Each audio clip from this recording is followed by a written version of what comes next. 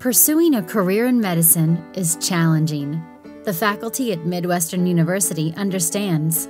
Here, we prepare students for successful careers every step of the way by your side, mentoring, supporting, encouraging, and teaching you to care for the whole person. Our students learn the art and science of medicine through clinical rotations at top rated health facilities and hospitals in the Chicagoland area and throughout the country. You've always wanted to be an osteopathic physician. We'll build your future. Midwestern University's Chicago College of Osteopathic Medicine, tomorrow's healthcare team.